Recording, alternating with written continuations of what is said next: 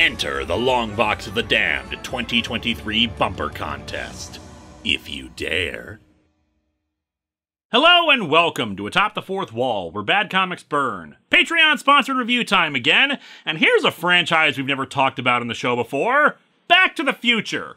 On the slim chance you have never seen the Back to the Future trilogy, it's about Marty McFly, a teenager who is best friends with eccentric scientist Doc Brown. Brown invents a time machine using the short lived DMC DeLorean car, which I think is part of the joke. I've driven a DeLorean before. Even for the few minutes I did so, it was not a comfortable ride at all. Man, I really need to get the Southland Tales crossover back up at some point, don't I?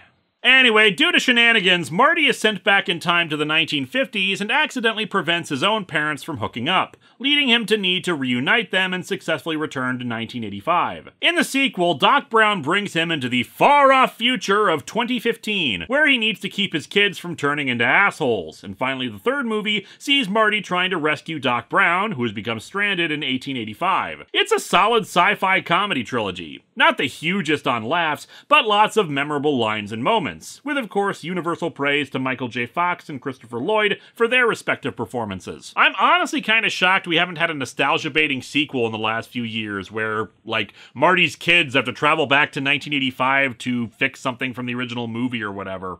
I don't really want that or a remake, just shocked it hasn't happened. But while the mainstream franchise has never gone beyond those three movies, it wasn't the only piece of media for it. Aside from video games of infamous or mixed quality, there was a short lived animated series that took place a few years after the movies involving our heroes going on time travel adventures. It even featured early appearances by Bill Nye doing science demonstrations that Christopher Lloyd narrated over. I've never seen the show, so I have no idea if it's any good, but we're here to talk about comic books. Aside from a brief tie in to the animated series, IDW started publishing Back to the Future comics in 2015, filling in some gaps from the movies, how Marty and Doc Brown met, showing showing the alternate universe Biff's rise to power after he got the Future Sports Almanac, etc. And there was an ongoing series that lasted for 25 issues, and we're looking at a storyline from that series. Originally, Marty McFly was played by actor Eric Stoltz. One of the reasons why he was let go was because he was evidently interpreting the movie much more dramatically and intensely, rather than the mostly comedic and lighthearted mood they wanted it to be.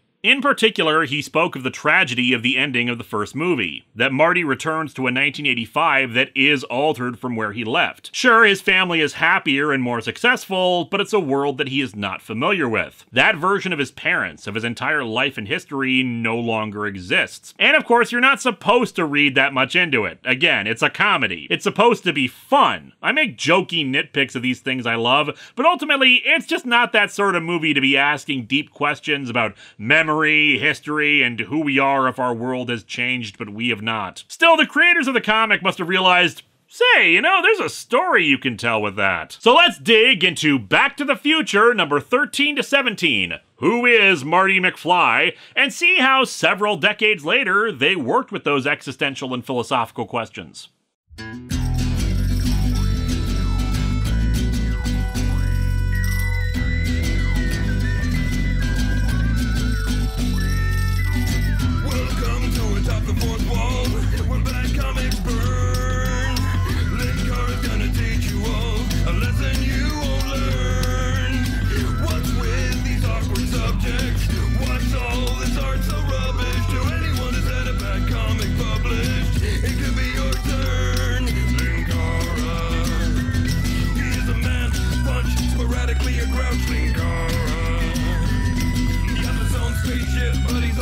couch.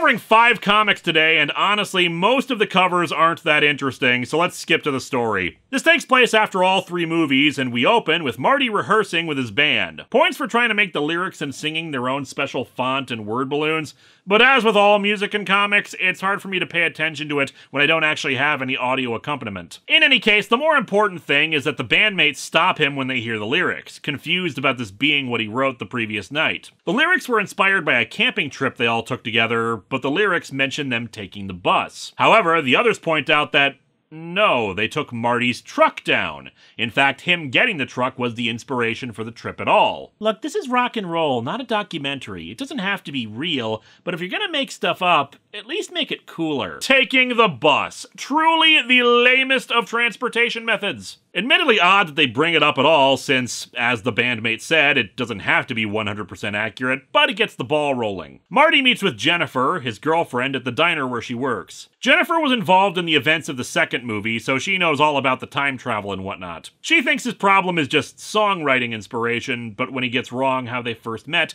and consequently she has a different memory of when she first met his parents, it continues to make him worried. He looks over a bunch of photographs of him from years back, as well as his aunt's old wedding tape trying to see how much of it he remembers. He mostly remembers stuff, but some of it he only sort of remembers, and others he doesn't. His dad joins him on the couch. How much of your life can you remember? From when I was small? From whenever. I'm a writer, Marty. We observe and record. Dude, I've been doing this job for 15 years. I sometimes forget what episode I wrote, recorded, and edited last week. Also, for someone who observes and records everything, you seem to have forgotten that that one kid who helped you out in 1955 land you your high school crush and later wife looks exactly like your son. Marty points out that if his dad lacked the confidence to become a writer and college professor like now, things might have gone differently. Unfortunately, his dad doesn't really get it, just thinking he's referring to teenage hormones, and Marty just feeling different overall as he grows up. They go for a walk, and Marty tries to explain it without the details of his time travel. You ever think of what could have happened if you hadn't stood up to Biff? Well, I don't think I'd have married your mother, for one thing. Maybe you would have, but it would have been pathetic, bordering on contemptuous for each other as you cared more about some old sitcom than you did your wife recounting your early romance. Maybe you wouldn't understand how things got to be like they are, and the whole world would be different. We'd have different couches, Dad! Different couches! Marty addresses the possibility more as a science fiction writing idea. What would happen if someone's past changed and you never did what you did? Would you still be you, or would you be someone else? It's a deeply philosophical question, and George tries to approach it with how time would work via metaphor. Like a rock hitting water, it might create some ripples, but essentially the flow of the water, or in this case time, is unchanged. Thus, you'd still be you even if some things were altered. However, there is the idea of the branching timeline, that time can split into multiple different directions, this time using examples from a playground. Choose one slide, you end up at a completely different place than if you chose the other. And if you chose the metal slide, then you'll be in agony from this different place. So if time changed and you didn't, you wouldn't be the real you.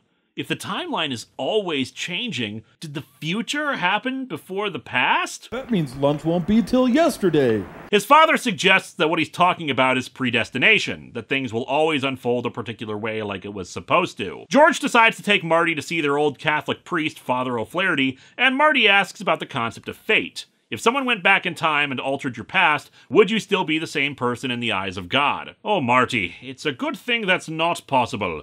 There are no redos. That's fine for a story, I suppose, but the idea of it, of second guessing the divine plan, of avoiding the consequences of your actions, that's blasphemous. I mean, you don't want to hear about what happened when King David got his hands on a hot tub time machine, Marty. It's an interesting idea that I think few, if any, time travel stories talk about the religious implications of altering history, what that means for people's souls. It's mostly because, of course, time travel stories are generally science ones and not religious ones, but consequently, I really dig this angle. Marty being concerned that now he's going to hell for changing the timeline. Of course, the alternative was non existence, and who knows what happens to the souls of people who don't even end up conceived because of wibbly wobbly timey wimey.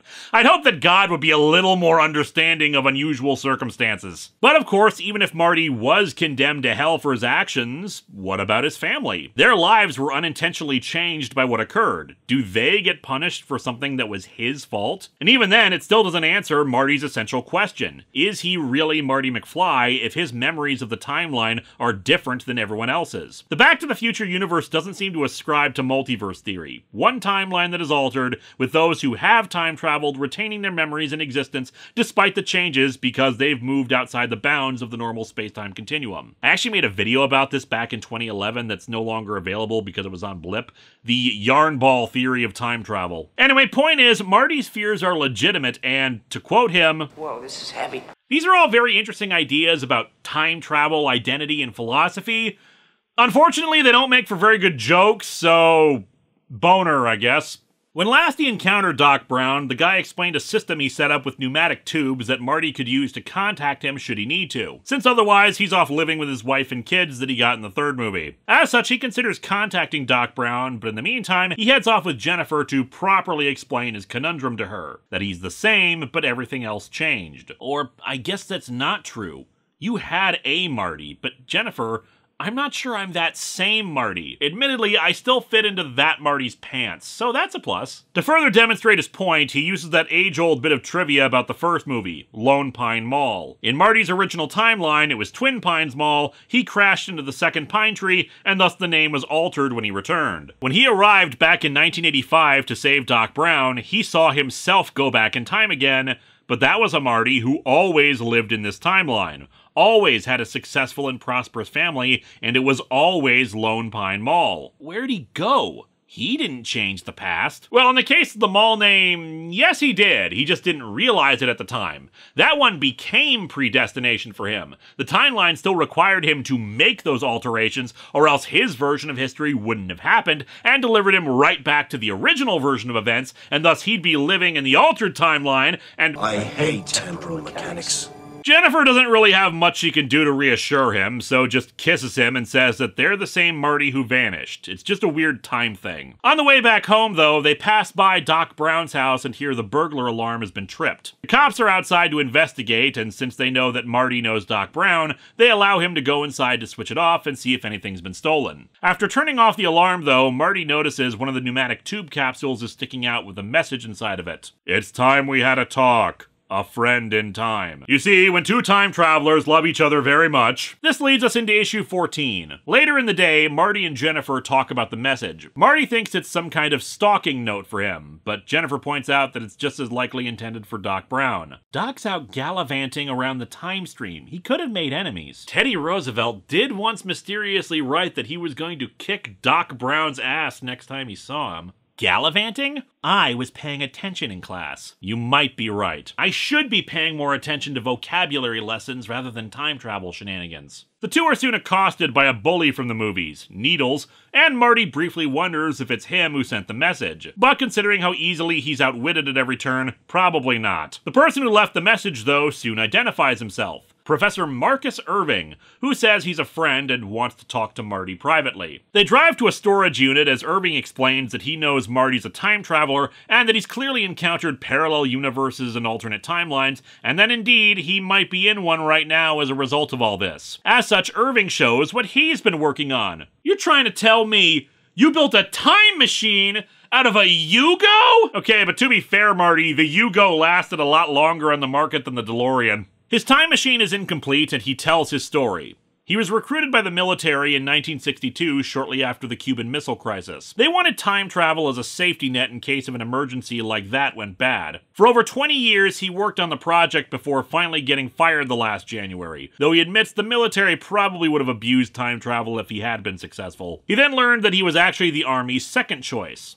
Doc Brown was the first, but he had turned them down. I don't know what aggravated me more that I was a second choice, or that by saying no, Brown had condemned me to a life of fruitless labor. True, but you did get government funding for like 24 years. That's pretty stable employment, all things considered. He decided to try to find Doc Brown in the hope that he had the missing piece to time travel that he lacked. He denies wanting it purely for himself, instead thinking they'd share research or he might get inspiration. He found his laboratory, but Doc Brown himself was long gone. When he learned that Marty had worked with him, he went to go talk to the kid, but in the process saw the DeLorean arrive at his driveway and then leave again disappearing in a flash of light. He realized that Doc Brown had indeed figured out time travel and then located Doc Brown's second lab, wherein he discovered the communication system for contacting Doc Brown whenever he was in time. However, he says they're running out of time. Specifically, Marty is, and that he's going to vanish. As we saw in the movies, time is a habit of correcting itself if something has changed, though not instantaneously. It happened with Marty and his siblings when he went back in time, his brother and sister vanishing from a photograph before he did too. Irving believes that since there was already a Marty living in this timeline, then that one will reassert himself and overwrite this Marty. Our hero wonders why Doc Brown didn't warn him about this. Because this was now a different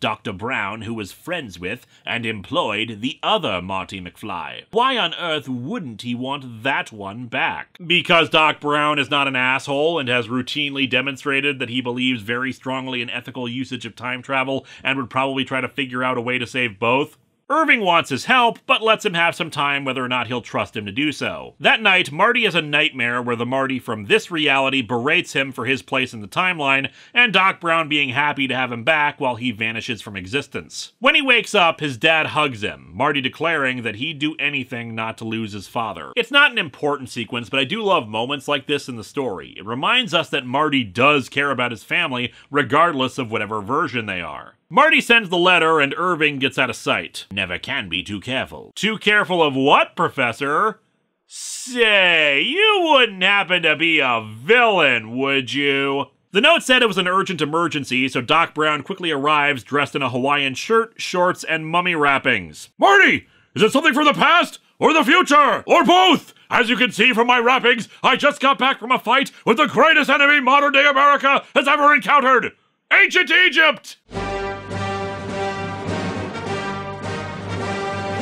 While Doc is distracted talking to Marty, Professor Irving slips into the time machine. Marty explains his fears about how he'll vanish, that he's not sure he's the real Marty McFly, that the one from this timeline will be returning. Doc says that he was expecting this because he had the same concern about himself. There was a Doc Brown in the alternate 1985, after all, who has ceased to exist. Hell, he also knows that the version from Marty's original timeline died. Did he die in a hail of gunfire? This bothers me as a scientist and a human being. I admit I've always kind of wanted to get shot to see what it felt like, Marty. For science. I could ask myself about it. However, he admits he doesn't know the answer about the quote unquote originals of them. Marty mentions Professor Irving, and Doc immediately gets worried.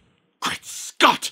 Come along, Marty! We haven't a moment to lose! You know him? From reputation only! He's another temporal researcher, but one without my clear sense of right and wrong. Additionally, his science is specious at best. Did you hear that he wanted to make a time machine out of a Yugo? What an idiot! Marty thinks there's nothing to worry about. It's not like he can make a flux capacitor in two minutes, only for them to find the DeLorean missing its tires and the flux capacitor. The issue ends with Doc Brown saying they'll find Irving, but Marty is then grabbed by duplicates of himself. Across the Martyverse! Issue 15 picks up right where we left off, Doc Brown amazed by the multiple Martys. Great Scott! The time stream has turned in on itself! Space is warped and time is bendable. Doc tries to talk to them, but they just knock him down. Marty tells him to run, that this is all his fault and he's ruined everything. Nonsense, Marty! Just.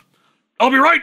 I'm not getting any closer. It's called sequential art, Doc. Just wait for the next panel. Actually, it's because one of the Martys is holding him in place by the shirt, but he just discards the shirt and heads to the DeLorean. Fortunately, while the tires are gone, the hover upgrades they got in our old future of 2015 still works, and he flies in pursuit, though with a Marty grabbing onto the thing. While our Marty is dragged into a warehouse, Doc Brown continues his flight. At least from this altitude, I'll appear to be a simple helicopter. The human mind has a tremendous capacity to ignore that which cannot be. Easy, Doc. You're channeling Sylvester McCoy from the review I'm going to be doing in November.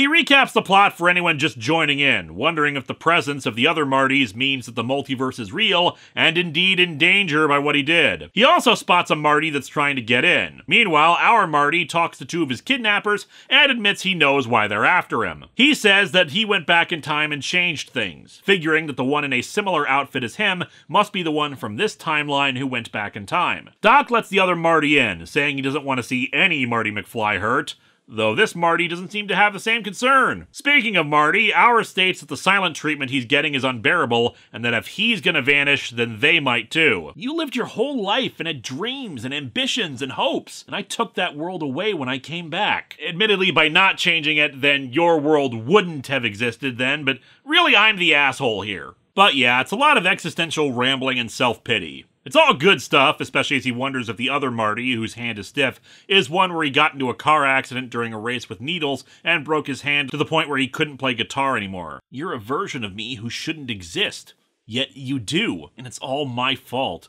No wonder you want to get rid of me. So, where's the Eric Stoltz version for the true original timeline? As the Marty in the DeLorean attacks Doc Brown, the scientist grabs his face and rips it off. Great Scott!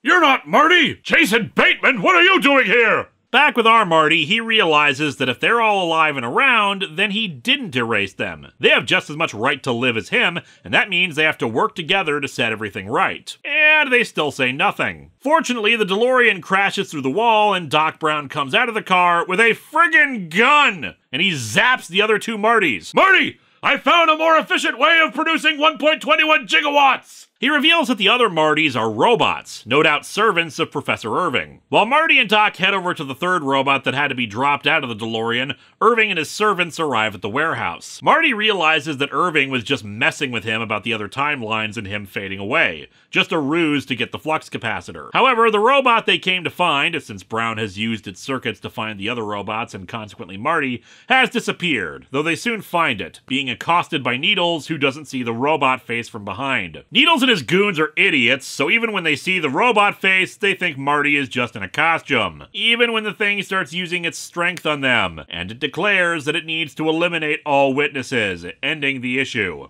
This is my fault. Okay, Marty, I know you're still reeling from your dilemma, but I think saying you're responsible for the killer robot is a bit of a stretch. As we enter issue 16, the robot knocks out Needles' goons and drags him away. Despite what the thing said, Doc Brown doesn't think anyone would deliberately program the robots to kill anyone in the past. He thinks the robots are future tech because of the potential repercussions. Marty's not so sure given he's met Professor Irving. If he has a time machine, he could be recklessly gallivanting through the whole timeline. Gallivanting? I'm pleased you're paying attention in school at least. Although I suspect that in the year 2023, a spell check system in Microsoft Word won't recognize that spelling and go for gallivant with an I instead. We do need to stop the robot. You wouldn't happen to have an electromagnet on you by any chance? Why would I? Marty, I don't know what a teenage boy in the 1980s does for fun, especially because the Game Boy hasn't been invented yet. Marty decides to just tackle the robot and it drops Needles, knocking him out. Doc runs in, but the robot shoots a dart at his arm and he falls over. Marty thinks that the robot killed him, but an older version of Professor Irving comes out to reveal that all it did was knock him unconscious. He admits to lying about Marty disappearing from existence and uses some kind of spray that'll erase Needles and his friend's recent memories of encountering the robot. The older Irving shows Marty his younger self currently in the process of trying to escape any potential pursuit before going into some explanation of his evil scheme. Not all of it, but he admits he doesn't want his activities known, and being from the future, he doesn't want to risk killing someone whose presence is important to said future. He's become a recluse in the future, though also says that he can't leave Marty and Doc running around, seeing them as more dangerous to the time stream and himself with their reckless changes. As such, he takes the two back in time to the Pleistocene era, while he takes the DeLorean and himself to 1997. The supposedly delirious Doc mentions that they should try to not be eaten by a saber-toothed tiger, since their fast food diet will probably make them sick. Marty! I know we're about to be eaten, but I just ate at Wendy's. At least when we die, the animal that killed us will get its comeuppance. When Irving leaves, Doc recovers, saying that he actually woke up properly a few minutes ago and needed to make Irving think he was delirious for the trap he just laid. He's not worried about their current predicament, but Marty is downtrodden, thinking that maybe they deserve to be killed here for all they've done, even unintentionally letting Irving run around messing with time. Marty, listen, I hate to throw water on your argument, but that is the dumbest thing I've heard today. Why are you my assistant? Actually, they just leap in the water to escape the prehistoric animals, since he really doesn't have time to humor Marty's self pity right now. Doc still has some of his mummy wrappings, which he uses to lasso a nearby rock. Those rejuvenation clinics do wonders. Do you have any idea how old I am, Marty? I'm basically a Time Lord from Doctor Who now, Marty. I just need to perfect my accent. They head up to a big flat rock, and fortunately for them, Irving soon returns with his time traveling Jeep. Doc reveals that his statement about the tiger got into Irving's head. He's trying not to alter history too much and cause a butterfly effect. Thus, Marty or Doc Brown could have a virus or bacteria that wiped out early civilization. Or if they saved a mastodon or something that went on to trample on the first proto humans. Basically, if he's gonna kill them, he can't just leave it for wild animals to do the job. As such, they arrive in Irving's little bat cave in 1997, full of technology up to 2008. My god, Marty, look! Two different generations of Furbies! They travel to the top of Irving's tower he owns, and Marty wonders how the robots have such detailed clothes of his. I found your photographs on the internet. The inter what? I've heard of it, Marty! In the future! There's so much porn, Marty! So much porn we've never dreamed of! He even says a similar concept to the internet was a neural link in the year 2035, which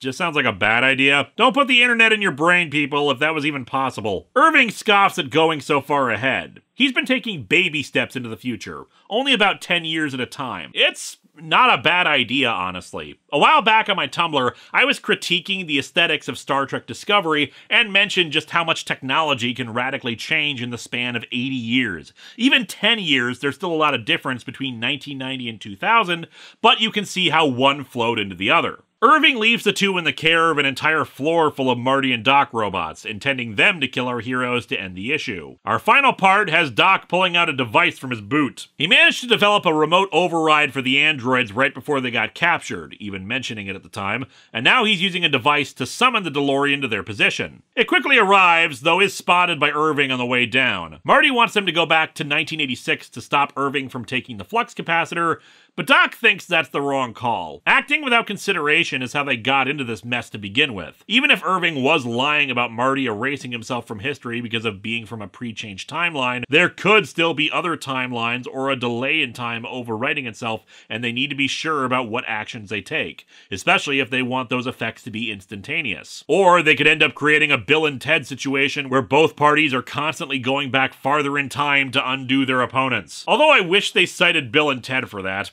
Admittedly, Bogus Journey didn't come out until 1991, but come on, you've got to imagine Doc Brown would want to see other time travel movies to see how they worked. Deciding they need as much information about future Irving as they can get, they double back and head to his basement lab. As I suggested earlier, he's been making short hops to the future and reverse engineering technology, introducing stuff just a little bit earlier than it did originally and making a fortune off of it. Marty wants to look into the future to see if he becomes the real Marty, but of course Doc says they can't do that. They're already going to radically change Irving's future. Doc's only tried to look into the future to make sure Marty isn't hurt by his own actions, revealing that he carries his own guilt about altering the future because he's the one who made time travel. Marty, however, figures out that the two of them look after each other while Irving has been all alone, even creating a creepy robot mannequin of his sister to tell him he's so awesome and deserves so many friends. Oh god, Irving is actually Lex Luthor from the Superboy show, isn't he? Marty explains that the two of them are not the only ones who know the burden of history being changed. Irving does too,